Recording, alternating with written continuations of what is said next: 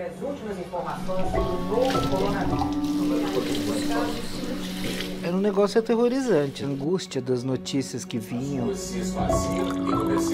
Eu me lembro do dia que eu avisei no consultório que eu não voltaria. A partir daquele momento eu me tranquei aqui, preocupado com os meus filhos, pensando se eles estavam se cuidando. Decreto que obriga o uso de máscaras no estado de São Paulo. Oi, meu amor, tudo bem? A partir de hoje vamos começar ao sair na rua, sair de máscara.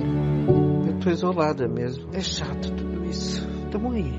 Tamo aí. E o combate à Covid-19 Falava-se já de vacina e tudo mais, mas parecia uma coisa tão remota. Assisti tudo que era notícia para saber o que estava Está acontecendo. sendo a primeira vacinada no Brasil.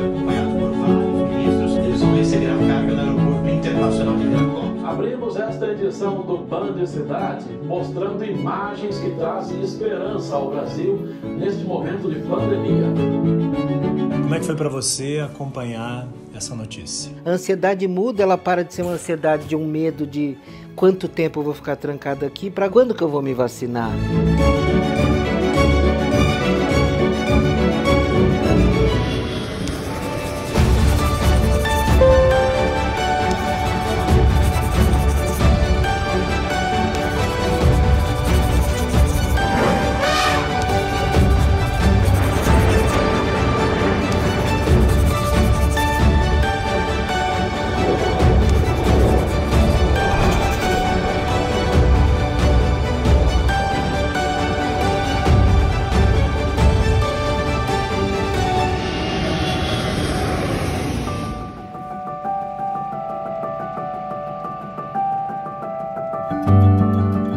Acabado de assumir a gerência comercial de cargas. Nós tínhamos bastante expectativa de receber esse contato do Ministério da Saúde e a ligação aconteceu. Perguntando sobre como funcionava essa parte comercial e financeira dos processos de importação aqui em Viracopos. Passou mais ou menos uns 5, 6 dias, eu recebi o contato diretamente da farmacêutica. Viracopos tinha sido escolhido para ser a porta de entrada das vacinas de combate à Covid. Nossa, o coração acelerou. Cada pessoa envolvida no processo, direto ou indiretamente, sabia, ó, tá chegando a vacina, a vacina vai vir por aqui, como eu posso ajudar? Era um momento que a gente se sentia fazendo parte de uma resolução de um problema global. Mexeu muito, foi uma sensação emocionante. E aí começaram as reuniões, ó, o processo vai ser muito mais rápido do que aquilo que a gente já viu, atenção ao extremo. Equipe, nem respira e nem pisca. A vacina precisa chegar e precisa sair imediatamente, para não ter desvio de temperatura que pudesse prejudicar as vacinas. Nós sentamos e estabelecemos um manual de como fazer esse desembaraço sobre as nuvens. Viracopos editou algumas normas locais que pudessem possibilitar o registro da declaração de importação antes mesmo das mercadorias chegarem no país. Quando a carga pousa aqui com a aeronave, ela já está pronta para sair, já passou por todos os trâmites burocráticos. Colocar à disposição uma infraestrutura com a capacidade logística, velocidade e qualidade no atendimento é sensacional. Aqui ao vivo, na pista do Aeroporto Internacional de Viracopos, bem na área de carga. Pela primeira vez, uma equipe de televisão acompanhou todos os passos da chegada da vacina da Pfizer contra a Covid-19 ao país. São imagens inéditas e exclusivas que você confere agora na reportagem de Bárbara Guimarães e Pedro Sardelli. Uma grande operação precisa funcionar. Essa ação tem colocado o Viracopos num alto ranking de competência no mundo. A gente já estava há umas duas semanas negociando essa entrada, que por ser uma coisa tão séria, né, um aeroporto tão grande, tinha muitos detalhes. Essa operação que, como a gente brincava, era uma operação de guerra.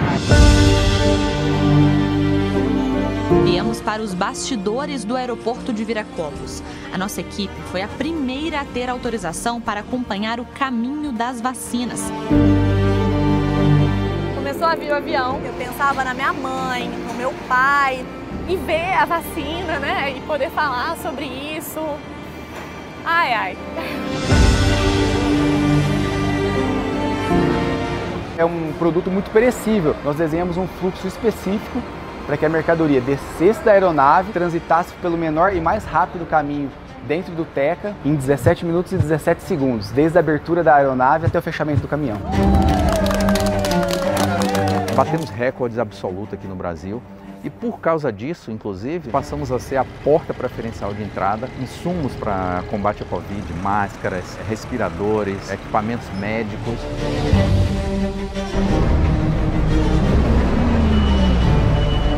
A gente se dispôs aí no epicentro, onde tudo estava acontecendo, mais de 30 horas dentro da aeronave, no auge da pandemia, em busca de uma missão. Nós adaptamos a aeronave para colocar todos os insumos nos assentos. Fizemos a distribuição tanto para o Brasil quanto para alguns países da América Latina. Como eu acabei participando de muitas operações, acabei saindo num canal e meus filhos, eles ficaram super felizes assim de ver eu participando de tudo isso. E eles, papai, papai.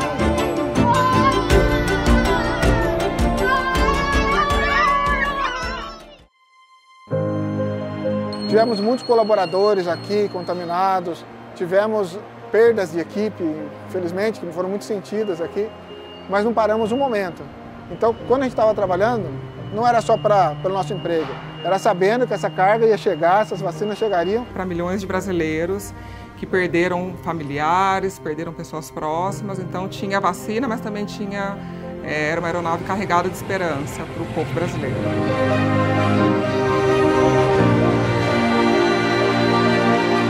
É aquele alívio, aquela coisa, poxa, agora é só esperar que daqui a pouco a gente vai estar no posto vacinando. E eu pedi para alguém lá no posto de vacinação tirar uma foto de mim muito emocionada. A minha plaquinha dizendo vacinei. Isso foi dia 5 de fevereiro de 2021. Chegou na minha cidade. É aqui, tá pertinho, é real.